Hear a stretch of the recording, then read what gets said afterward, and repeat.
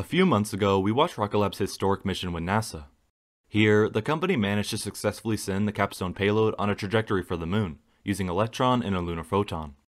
Unfortunately for NASA, it seems the Capstone spacecraft has experienced nothing but complications throughout its entire journey so far. Starting just days after the initial successful launch, the agency reported communication issues with the spacecraft.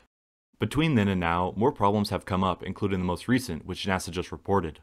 Specifically, the agency gave an update pointing out that teams are continuing to work toward the recovery of the spacecraft orientation control, not to mention a host of other problems that are putting the mission at risk. This is especially concerning as Capstone has a very important job a part of Artemis. The spacecraft is intended to test a unique elliptical lunar orbit, the same one meant for Gateway, Artemis's future lunar space station. Here I will go more in depth into some of the recent complications, what exactly went wrong, what to expect in the future, and more.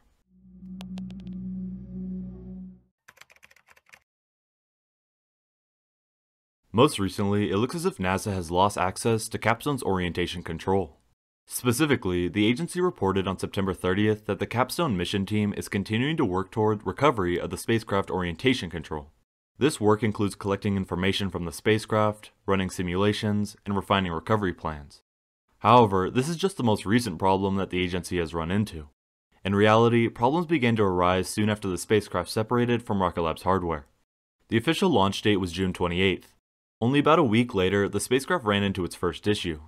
On July 5th, NASA reported that following successful deployment and start of spacecraft commissioning on July 4th, the Capstone spacecraft experienced communication issues while in contact with the Deep Space Network.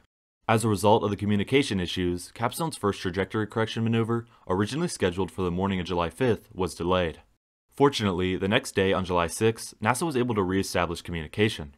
During the commissioning of Capstone, the Deep Space Network team noted inconsistent ranging data.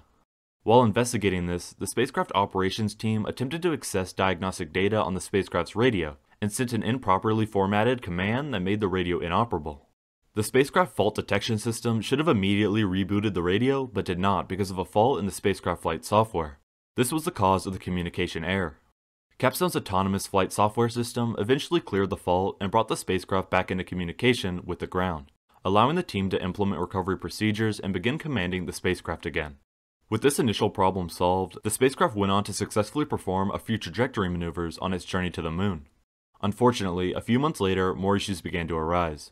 On September 10th, NASA reported that the Capstone spacecraft executed a planned trajectory correction maneuver on Thursday evening, September 8th, and Capstone mission controllers have since obtained telemetry confirming that an issue put the spacecraft in safe mode near the end of the maneuver.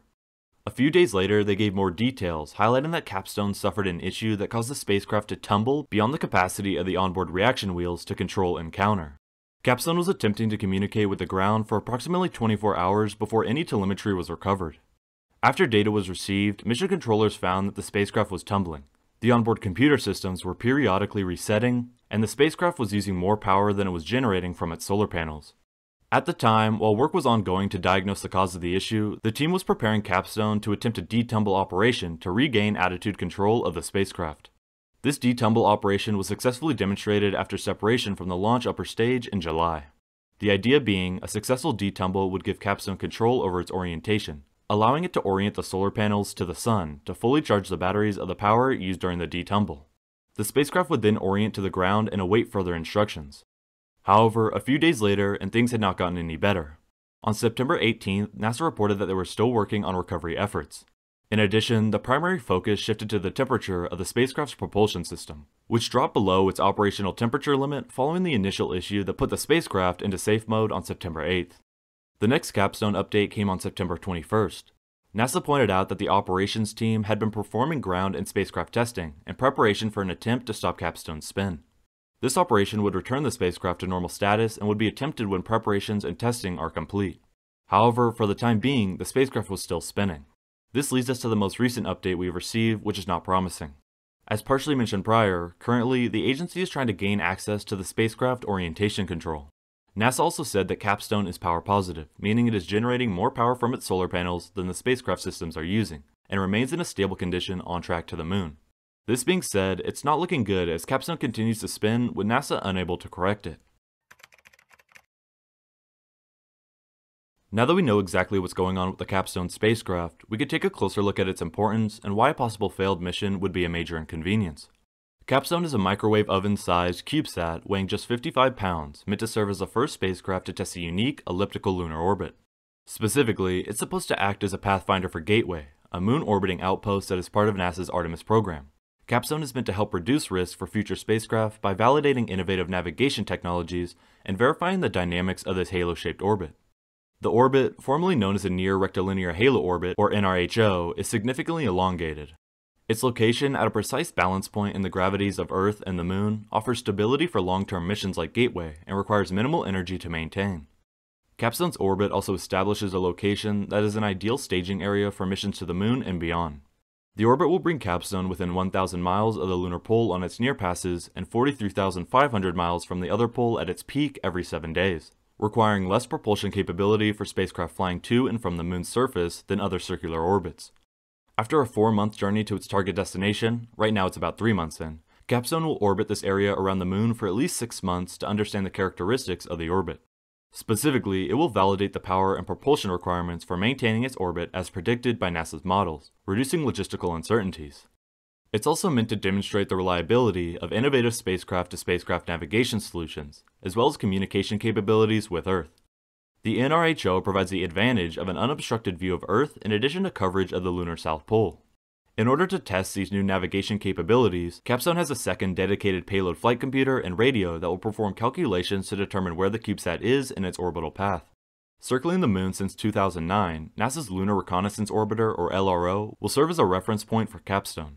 The intention is for Capstone to communicate directly with LRO and utilize the data obtained from this crosslink to measure how far it is from LRO and how fast the distance between the two changes, which in turn determines Capstone's position in space.